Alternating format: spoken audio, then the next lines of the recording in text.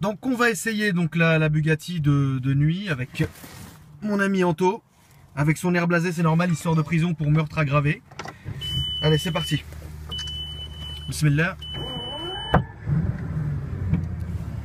Tiens, mon amour.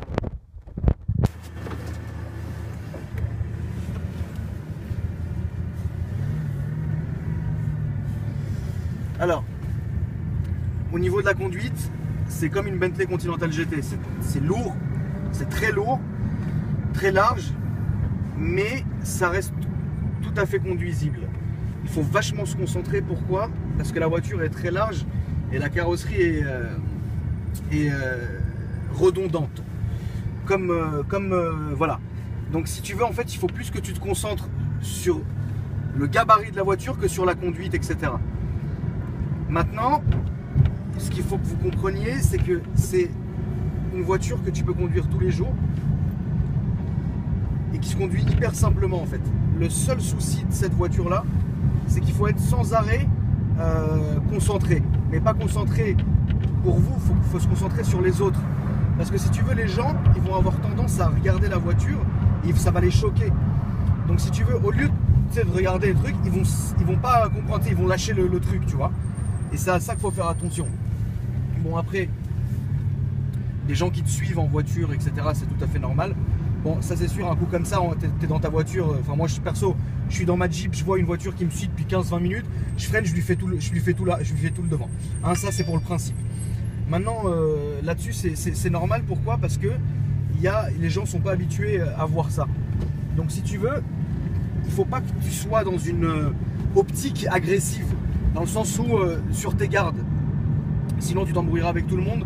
Et au final, il faut que, tu, dans cette voiture-là, tu peux, tu peux l'assumer. C'est pas comme Porsche ou Ferrari ou Lambo, etc., où les gens n'ont ont l'habitude d'en voir, euh, pas énormément, mais ils en voient.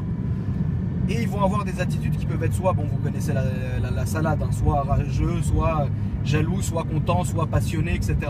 Là, dans la Bugatti, c'est complètement différent puisque les gens ne savent pas. Si tu veux, il y a deux voitures sur lesquelles ça m'a fait ça. La première, c'est la Rolls Phantom Drophead décapotable. La mienne, la blanche intérieur rouge. J'ai envie de te dire que quand tu roules avec ça en été, en décapotable et que tu passes, les gens, mentalement, ça les. Tu sais, ils, ils, ils savent pas. Ils savent pas s'ils doivent te jeter un truc à la gueule, s'ils doivent te massacrer de coups, s'ils doivent applaudir, si. On, on ne sait pas. On ne sait pas ça, tu vois. Dans la Bugatti, c'est complètement différent. L'approche des gens n'est pas agressive du tout.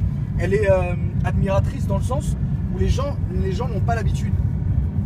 Donc de voir ça, ça leur fait plaisir, mais ils savent pas ils savent pas comment prendre, tu vois.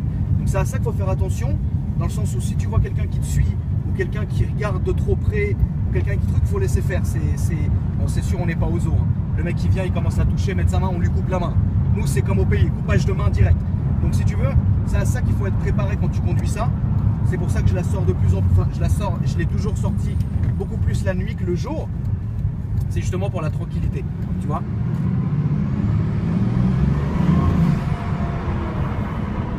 Alors comme je le disais, il y a plusieurs modes différents sur la voiture, évidemment. Donc tu, peux te mettre en drive, donc qui reste euh, bah là, euh, comme je le suis depuis tout à l'heure. Tu peux te mettre en sport et tu peux te mettre aux palettes au volant. Alors je vais donner une petite technique en été. En été, la voiture chauffe très très très très vite, la boîte chauffe très très vite.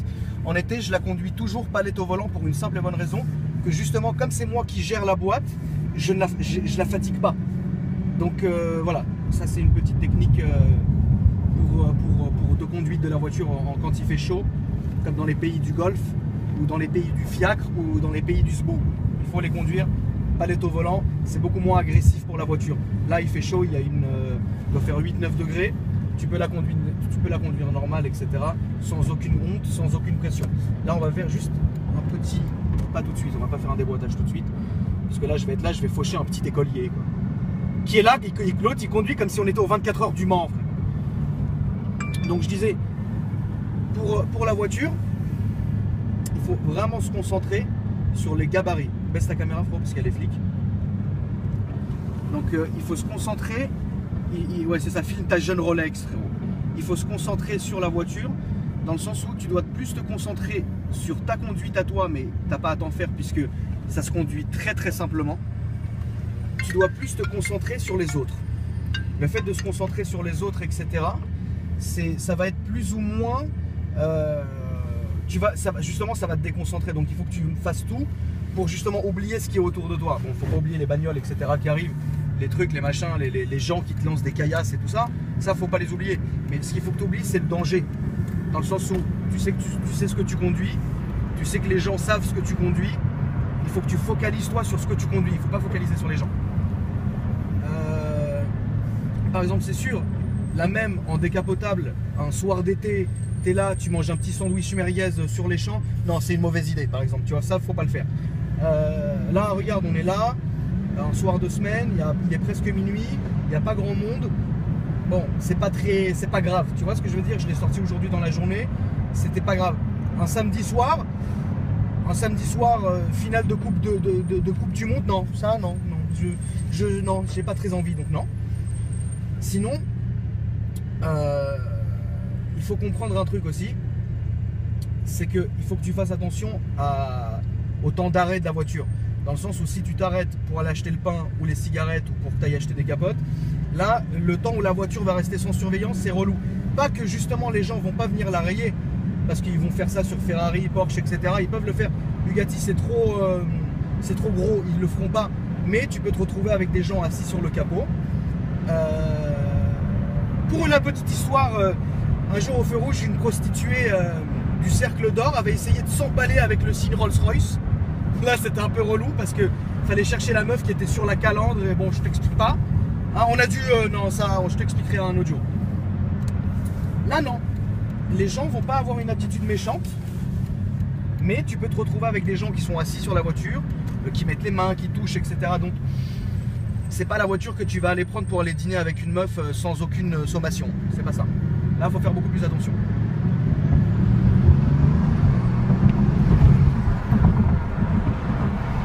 Vais fermer la vitre pour que ça vous entendiez bien les turbos.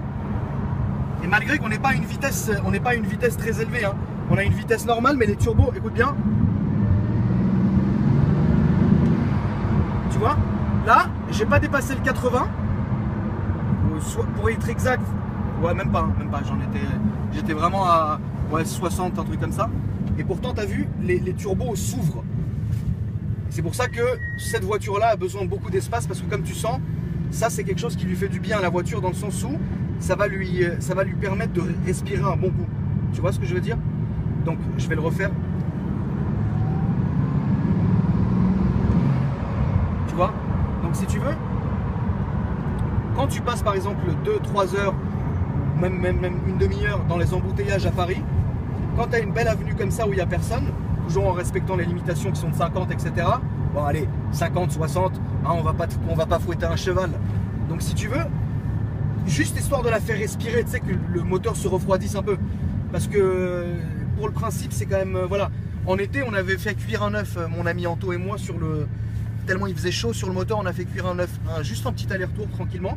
Bon, je sais pas ce qu'il y avait dans ce stuff là. Après, on a, eu la, comme une tourista, mais bon, avec, avec plaisir. Donc, si tu veux, juste, tu vois, tu. Juste histoire que ça respire un peu. Pas d'accélération intempestive. Hein, il faut respecter son prochain. Euh, pas d'insolence. Juste histoire que la voiture, elle prenne un peu du, tu vois, elle prenne un peu de, comment t'expliquer, elle se fasse plaisir, voilà. Euh, voilà, c'est, moi je pense que les gens se font tout un mythe sur la voiture, certes. La voiture est mythique en elle-même, bien évidemment. Mais ce qu'il ne faut pas se faire de mythe, c'est que c'est la voiture la très très très facile. J'ai plus de, facilité à conduire ça qu'une Ferrari F12. J'ai plus de facilité à conduire ça mon ami Anto qui avait une Porsche GT3 RS euh, cet été, c'est beaucoup plus facile de conduire ça qu'une GT3 RS. Euh, c'est vraiment la voiture pour moi 458 et ça, ça se vaut. C'est pareil, c'est la même conduite. C'est, c'est, c'est simple. Tu vois ce que je veux dire? Il faut quand même faire attention parce que il y a un truc qui est assez traître sur la voiture, c'est que les, chronos, j'allais dire, les instruments sont hyper bas. Donc ta vision ne va pas être accrochée sur le compteur, etc. Donc si tu veux, tu vas plus avoir être tendance à accélérer et dire putain merde, je suis à 90 ou je suis à 80 ou je suis à 60 au lieu d'être sur les limitations. Donc il faut faire, faut faire attention à ça. à toujours être rivé sur les instruments parce que c'est une voiture que comme elle emporte, si tu veux, dans le sens où c'est tellement bien euh, linéaire et tellement bien conçu que tu ne vas pas sentir le, moment où, en fait, la vitesse, tu la sens pas. Ce que je disais comme une Bentley Continental GT. Une Bentley Continental GT, j'étais à 300, 300, on était 4 dans la voiture. Pour moi, j'étais à ça allait 160, 180. J'ai regardé, j'étais à 300. Tu te dis merde. Donc là, c'est pareil, c'est merde. Faut faire attention. Donc voilà, écoute, c'était juste pour faire un petit, euh, un petit a priori de la voiture comme ça, euh, de pomme hein, pour le principe. Donc j'espère que vous avez apprécié cette vidéo. Bah, bonne soirée à vous et que Dieu vous bénisse.